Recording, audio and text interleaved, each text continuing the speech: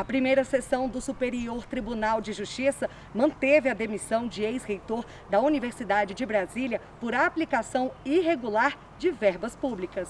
O ex-reitor da UNB, Timothy Mulholland, foi demitido após processo administrativo disciplinar que apurou irregularidades na celebração e execução de contrato entre a Fundação Universidade de Brasília e a Fundação de Estudos e Pesquisas em Administração em 2003.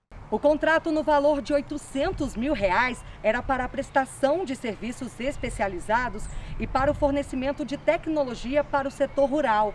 Mas, de acordo com o processo administrativo, houve desvio de finalidade no contrato com um gasto de 380 mil reais em despesas totalmente estranhas ao projeto.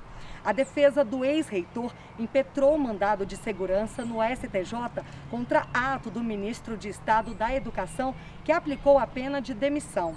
Foi alegado ausência de imparcialidade pelo fato do presidente da comissão que julgou o processo administrativo disciplinar ter participado de outro processo que também apurou supostas faltas disciplinares do ex-reitor e que o processo administrativo não apontou nenhuma irregularidade capaz de legitimar a aplicação da pena de demissão.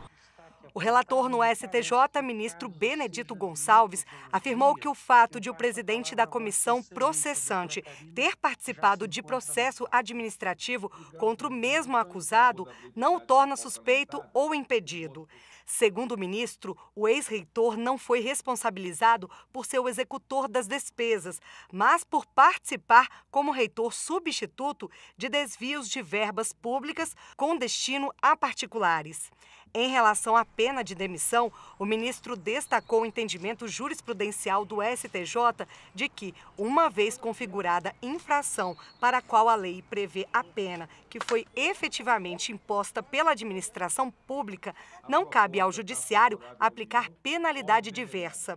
Ao acompanhar o entendimento do relator, a primeira sessão do STJ denegou o mandado de segurança e manteve a demissão de ex-reitor da UNB.